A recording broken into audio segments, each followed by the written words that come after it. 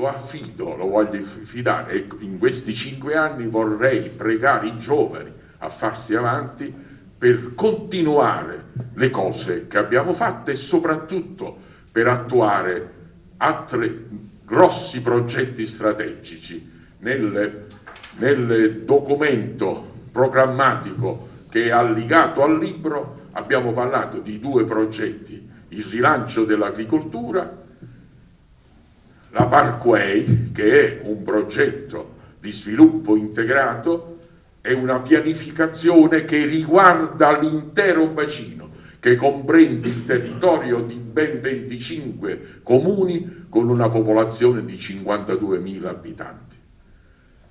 Credo che il Signore mi darà la forza in questi cinque anni di portare, di avviare quantomeno entrambi questi due progetti.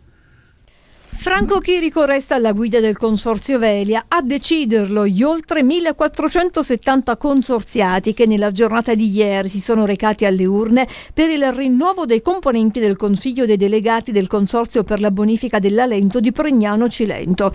La lista Il Cilento che vogliamo con 27 candidati capeggiata dal presidente uscente ha avuto la meglio sulla lista alternativa Democrazia e diritti dei consorziati che aveva solo 4 candidati per la fascia 1. Lo scrutinio iniziato subito dopo le 20 si è concluso intorno a mezzanotte.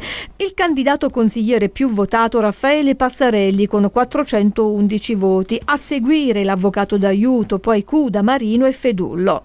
Nel pomeriggio di oggi l'ufficializzazione del nuovo consiglio.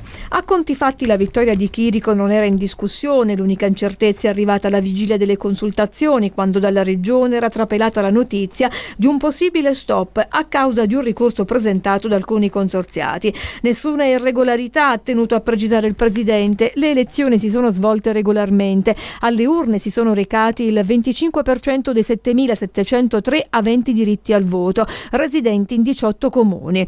12 consiglieri eletti. Chirico, forte del consenso ottenuto, è pronto a portare avanti il suo modello di sviluppo. Ha già nel cassetto due progetti, Parkway a Lento sottoscritto con i comuni e un piano di rilancio dell'agricoltura da realizzare realizzare con la Coldiretti. Progetti secondo Chirico realizzabili se il territorio esce dall'immobilismo e soprattutto se si supera la posizione di chi vuole usare gli enti per proprie finalità, trasformandoli in baracconi costosi e parassitari.